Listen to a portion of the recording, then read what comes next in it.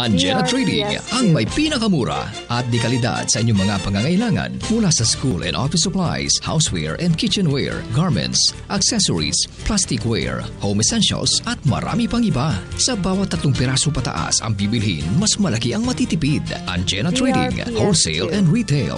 Angela Trading at Win-Win Mall, Diversion Road, Naga City with branches at Pulangi, Ligao, Iriga, Pili, Bao and Diet. Angela Trading, presyong maasahan sa kalidad na mapagkakatiwalaan.